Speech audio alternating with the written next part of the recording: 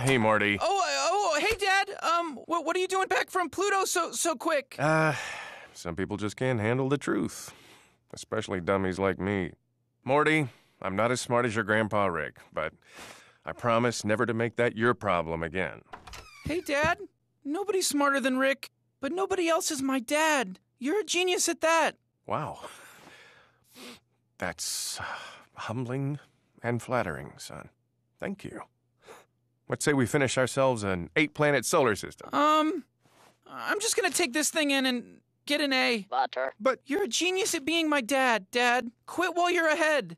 And also, knock next time, you know? I mean, I'm sitting in here, I'm 14. I got a computer in here, you know? oh, I uh I think I understand. you know, you're really playing with fire when you burst in here like that, man. I get it. Say no more. I mean, one of these days, you know, you're gonna, you're gonna, you're gonna end up seeing something. I got it. Noted. Good night.